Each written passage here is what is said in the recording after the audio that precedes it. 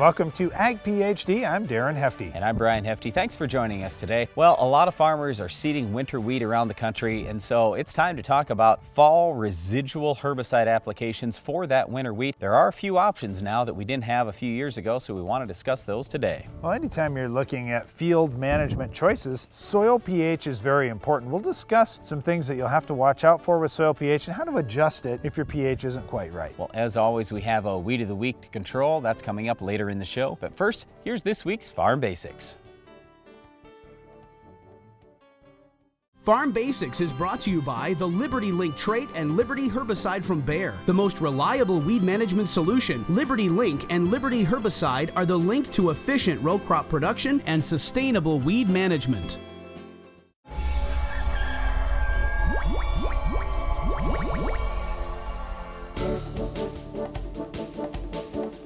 You've probably heard a lot of farmers talking about cover crops the last few years, so during our Farm Basics time today, we're going to talk about what is a cover crop. We've got a great example around our field day site where we have the big Ag PhD field day every summer. We plant wheat. We've got it, so we harvest the wheat just before the field day. We've got a nice area for people to walk when they're looking at the plots and this kind of thing. But as soon as people have left the field day, we're seeding a cover crop. And what we're trying to do is get something green and growing in the field really every day that we possibly can during the year. We're trying to keep the microbes in our soil healthy. We're trying to control weeds out there. And then you think about all that foot traffic around our field day and really the vehicles as we're setting things up and so forth. We want to try and eliminate some problems out there like compaction. So there are many reasons why we may use a cover crop in a field. Okay, so with this cover crop, there's basically a crop that you're doing for cash. So farmers will call that a cash crop. But then with the cover crop, it's just to keep something growing out there. So farmers can use it for livestock, for example. They might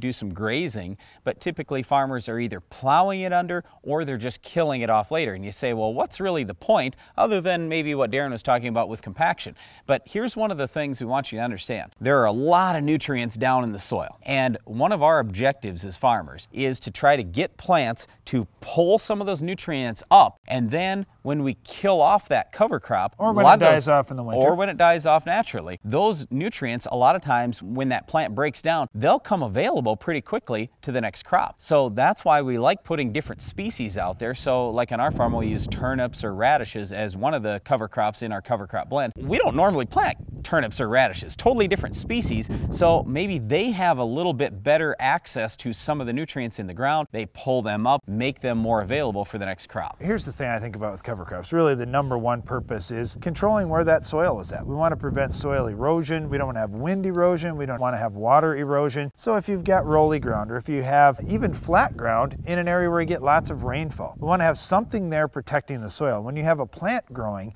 then when it rains, the water droplets are going to bounce off the leaves of the plant, and by the time they hit the ground, uh, they aren't going to hit the ground very hard. If you've got droplets falling from thousands of feet in the air, when they hit soil, those tiny little soil particles are going to explode, and you see soil just bouncing all over when rain droplets hit it directly. Think about it when you water your garden. You don't just put the garden hose on the soil and let the soil just go everywhere. Uh, typically you've got a nozzle that's going to spread out the water like a shower head kind of to lighten that load so you don't have big hard droplets hitting the soil. With cover crops that's what we're doing. So we're protecting the soil from washing away and also we're just protecting it from the wind blowing too. Well one of the big things that we talk about in Ag PhD all the time is weed control. One of the purposes of cover crops is to try to choke out weeds because as good as herbicides are, as good as tillage can be, don't ever forget that the best weed killer out there is just having a good cover. If we can shade out the ground, it prevents future weeds from coming. The other big thing I talk to people about with cover crops is trying to build your soil organic matter. You want something growing, you want roots growing down in the ground because while people think organic matter comes from the above ground growth, most of it doesn't. It comes from below ground roots decaying in the future. When those decay, then that helps build our soil's organic matter. And having good organic matter levels is really important if you want to have a great future crop. One last thing you may be thinking about cover crops as well, doesn't it cost money to seed a crop? It certainly does, and it does cost money to seed a cover crop, depending on what a farmer's putting Most out there. Most people are spending 15 to 20 bucks an acre. Yeah, it's going to cost them a little bit of money. There's no question about it. And you say, well, okay, what kind of short-term gain is there if you're not harvesting that crop? Well, there may not be a short-term gain that, well, I'm going to make more money this fall by having a cover crop out there right now. But what we're talking about is the long term. I look at just the farm ground that Brian and I are farming. We're farming our great grandpa's land. So we're the fourth generation on this same field. So we aren't looking at our fields as how are we going to make more money next year? And that's our only driver. No, our driver is, hey, how do we bring our kids back into this operation? And how do we have this land in better shape for our kids and hopefully even our grandkids someday to have the opportunity to farm it and have that ground be productive? So for the long-term health of the soil, cover crops are good. Now in the short term, as Brian was mentioning, if cover crops can make nutrients more available, if they can protect that soil, we should get a short-term gain as well. The other big thing that we stress to farmers is making sure you have a blend with your cover crops. So we don't want to just seed one cover crop. We're real big on, we want at least three different species. We'd like to have a grass, a broadleaf, and a broadleaf that's a legume that helps produce nitrogen for the next crop. So we're really looking at blends, and some people are even doing five-way, six-way, 10-way blends. We're really big on blends for cover crops, and just cover crops in general are tremendously important. They've gained a lot in popularity in the last few years. Well, one weed we may be trying to keep out of our field by having a cover crop is our weed of the week. Can you identify this week's weed?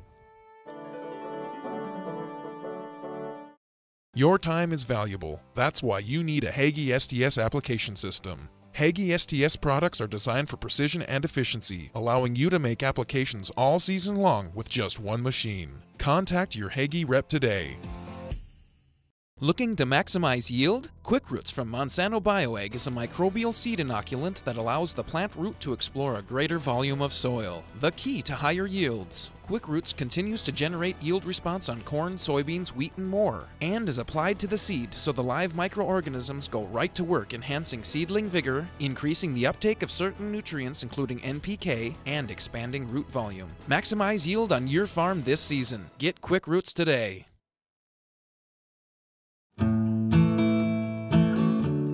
Farmer's attention to detail is what makes the difference. You take the time for service management because you know how vital it is to your operation. You service your field like everything else because soil sampling makes all the difference and gets the results you want. Download the app Soil Test Pro and start grid sampling today. Keep your farm growing strong. The more you test, the more you know.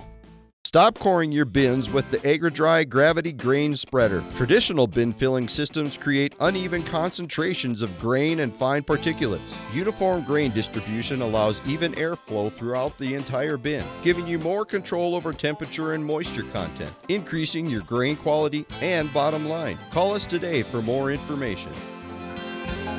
Dry Load Store, 1 855 AgriDry.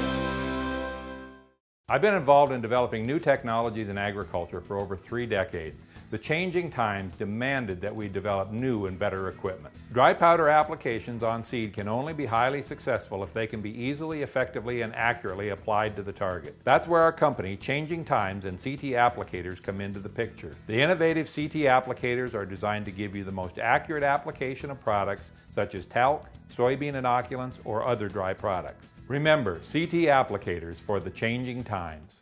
Regalia RX biofungicide activates a plant's natural defense system, limiting the effects of disease and improving overall plant health. Regalia RX complements your fungicide program to optimize yield and strengthen return on investment. Ask your retailer for Regalia RX today.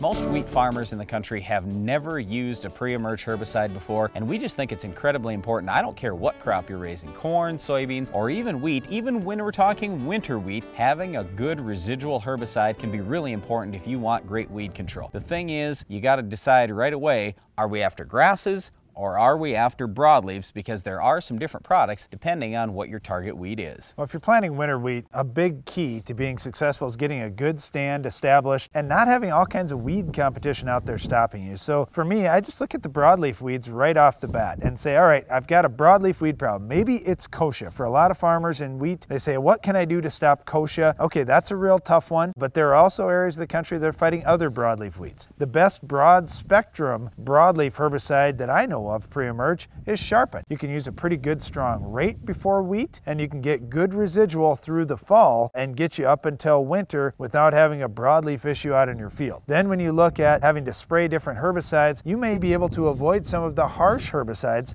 like 2,4-D for example that gets used to control some of the tougher weeds in wheat. All right, with sharpen you can go with an ounce rate. A lot of people do that. It's okay for burn down, but even there it might be a little bit weak. It's kind of a low rate. It's about five bucks. Or you can bump it up, spend 10 bucks an acre, and get better weed control and longer residual. Now you're not gonna have residual all the way until next July or anything like that, but you're gonna have good residual to get your wheat started this fall. And once you get that great stand established, then your wheat crop itself is gonna choke out a lot of weeds. All right, so broadleaf weeds are one thing, but let's face it, most of the concern in a grass crop like wheat is how do I control the tough grasses? Maybe I've got cheatgrass out there, or maybe I just have heavy foxtail pressure, could be jointed goat grass. There's a number of different grass weeds that are problems in different wheat growing areas around the country. And so we think about a lot of those products that get used post-emerge. Well, for the tough grasses, it's almost all ALS herbicides. So when we think about a pre-emerge herbicide, if you can use something other than an ALS, that would be a nice option. There is a relatively new herbicide that's out called Zidua that's from the group 15. So instead of being a group 1 or a group 2,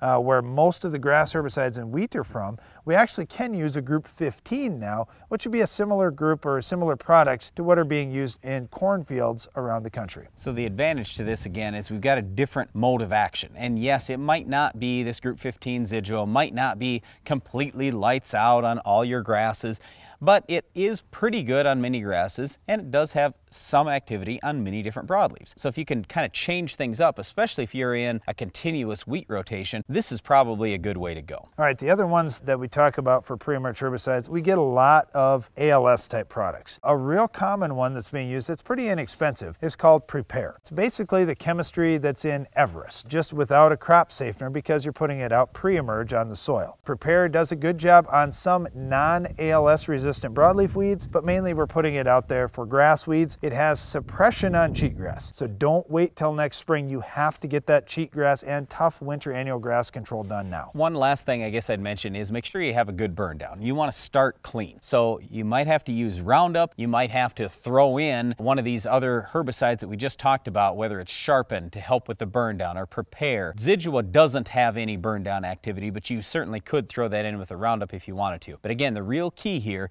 is trying to get these weeds under control now. We want a good good burn down, a good pre-emerge herbicide, follow post-emerge in your winter wheat, possibly even this fall if you need to. Just do everything you can to end up with the best crop possible next spring. Now, one of the weeds that you may be after controlling in your wheat fields is our weed of the week. We'll show you how to stop this tough weed later in the show.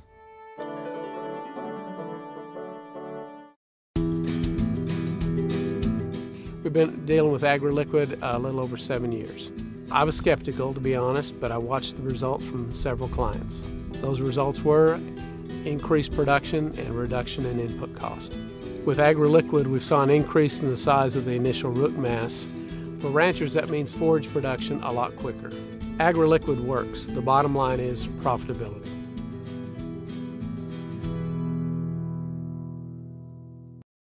For lower cost, higher production, Mandako Agri leads with versatility unmatched. Twister is the vertical tillage unit for no-till as well as conventional tillage. Twister's ease of maintenance is forgiving in rocks and has contour conformity equaling zero downtime. Our hydraulically adjusted coulter angles make residue management easier, less costly. Spring or fall, the Mandako Twister vertical tillage unit is the new leader. See your Mandako Agri dealer. Visit northcountrymarketing.biz or call there are no marks of conflict lining this landscape, no echoes of economic hardship, just the unmistakable murmur of Mother Nature's hand.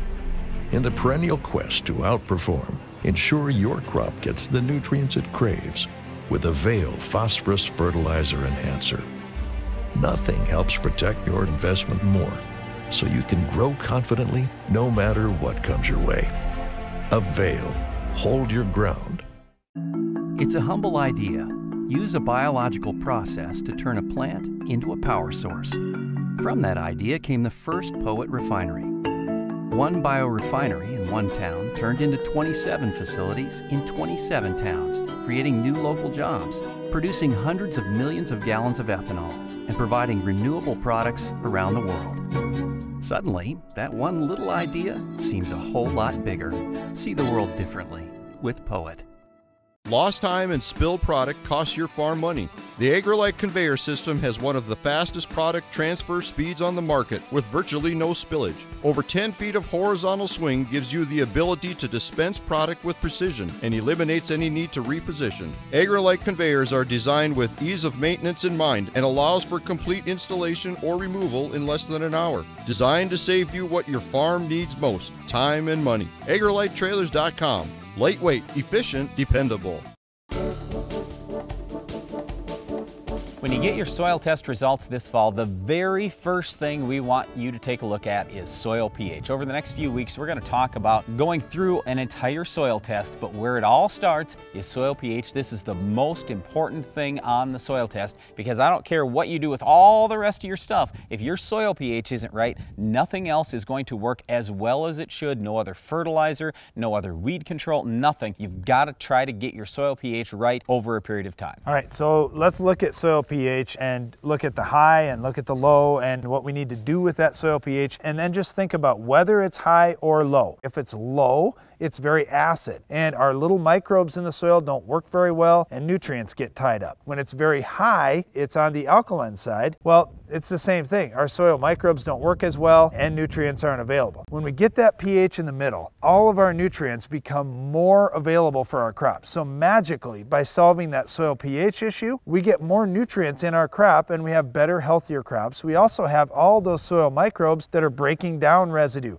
that are breaking down herbicides, so you don't have carryover. All those good things happen when we get that soil pH neutralized. At our Ag PhD soils clinics each winter, we like to show this slide from Midwest Labs that basically talks about how much percent of yield you can expect to get if your soil pH is low. So what this means, for example, is if I've got a soil pH of 5.7 and let's say the number says 73%, that means I can only achieve 73% of my yield potential at that 5.7 pH. So I've given up 27% of my yield before the year ever even starts. That's no fun. I don't like looking at that kind of chart. I want to get my soil pH right. Most crops like 6.3 to 6.8 for a pH, but there are certainly some crops that like just a little higher soil pH. With corn, soybeans, and wheat, we're talking 6.3 to 6.8. If we can have our soil pH in that range, that's pretty ideal. Now we have the best nutrient availability, we have the best environment for the soil microbes, we have the best environment to grow great crops. All right, let's talk about moving that soil pH. Let's take the easy one first. If you have a low soil pH, moving that up is relatively easy, but it's going to cost a little money and take a little bit of effort. So the way to solve a low soil pH is to add lime. That's it. We add lime, it helps bring that pH back up. There's a chemical reaction that happens in acid soil. Acid soil has too much hydrogen. When we put on lime, it's calcium carbonate. And the resulting equation or, or the result of that chemical reaction is the hydrogen combines with some of the oxygen to make water. Then the carbon combines with some of the oxygen to make carbon dioxide, and then that leaves free calcium. All three of those things help feed our crop. So the calcium our crop needs, the carbon dioxide our crop needs, and of course water our crop is going to use as well. If your soil pH is high, it's usually the result of one of two things, either poor drainage or you've lost your topsoil. So with the poor drainage, get tile in the ground. Over time, you'll flush the salts out, you will lower your soil pH. We've done it on our own farm. In the event that you have lost topsoil, you've got to try to build new topsoil, and that doesn't come easy. But we suggest planting crops with lots of roots like corn, using good nitrogen levels and good overall fertility and building your soil over time, you absolutely can do it. But you're going to need to reduce your tillage and you're probably going to try to want to get manure out there as much as you possibly can. I mean, don't overdo it, obviously, but use manure, use crops with lots of roots, and reduce your tillage, even go no-till. Also, you might want to use cover crops to try to keep stuff growing out there all the time. Just don't forget that, hey, when I have lots of roots, roots produce organic acids. They will try to lower your soil pH for you. So the crops can do the job as long as you feed those crops well. The other thing about getting that soil pH right is sometimes it discourages weeds from growing in our field. Even if you have this weed growing in your field, we'll show you how to stop it coming up next. The Weed of the Week is sponsored by the Enlist Weed Control System from Dow AgroSciences, a new herbicide and trait system that will build on glyphosate. Farming isn't just in the land, it's in you. Take control of weeds like never before. Enlist builds on the Roundup Ready system, combining proven control of a new 2,4-D and glyphosate in Enlist Duo herbicide. Protect what matters without changing the way you farm. Talk to your seed or crop protection supplier today.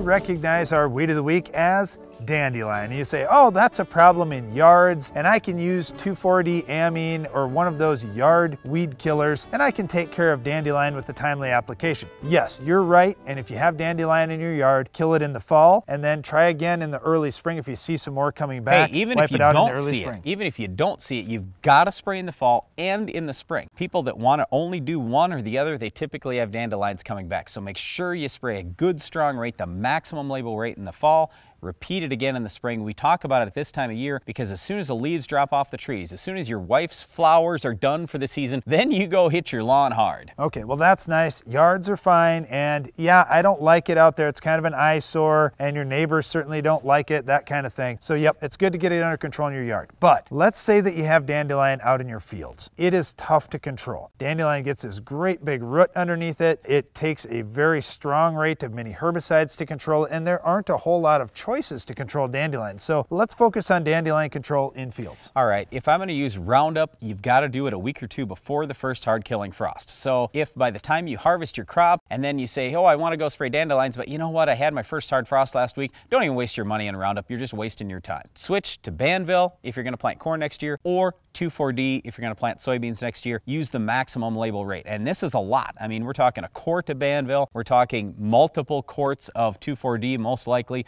but hit it hard and then you've got the best chance that it's going to die itself because of winter kill in the winter if you didn't kill it yourself. All right, if you're laughing right now, I'd say, wait a minute, you're talking about dandelion? That's not that big a deal. It's and the if I see weed one or problem two, in no-till in a lot of areas. It's a huge, huge problem. So if you do see a few of them out there, make sure you wipe them out because you're going to have a big problem in just a couple of years if you let them go. All right, if you have this weed come up again in the spring, try to hit it with a good strong burn down. Otherwise, if you're in corn, you can use Status, that's our favorite product. But in soybeans, it's really tough. You've got to use the maximum labeled rate of Roundup if you're raising Roundup beans, Liberty if you're raising Liberty beans. Otherwise, in conventional beans, we just don't have any good answers for dandelions. All right, well, our weed of the week is dandelion. Make sure you stop it because not only is it an eyesore, it can be a very problematic weed. Well, that's it for our weed of the week, but stay tuned. Iron Talk is coming up next.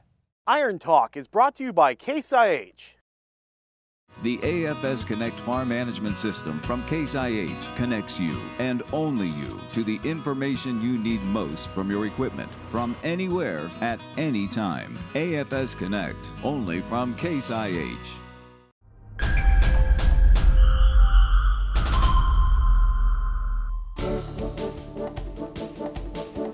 One piece of equipment that got a lot of attention at the Ag PhD Field Day was our chopping corn head. It's been such an important piece of equipment on our farm, and Brian says he will never raise corn without a chopping corn head again. I'll explain how we picked the one that we use in today's Iron Talk. There are four main criteria we use to pick the right chopping corn head for us. Number one, get a head that's designed as a chopping corn head from the beginning. We didn't want a bolt on or added on component approach. Getting even feeding of the plant through the header is critical to even residue distribution. Number two, we wanted a 12 row header, and having one that folds is a must for our operation. This saves so much time. It's easily a half an hour to an hour savings each time we move from one field to the next. This really adds up over harvest. Number three, minimal maintenance time. Our header has only two grease points on each row unit that need grease every 50 hours. And other than the PTO drive lines, the remainder of the head is seasonal maintenance only. Number four, durability. There's a big difference in many factors on a corn head when you look at the fine details, like how the deck plates are shaped. Ours, for example, have a rolled edge design, which should multiply wear life by as much as five times normal deck plates. It also has an upward beveled shape to pick the ear cleaner and minimize loss to shelling. There are many reasons you may choose a chopping corn head.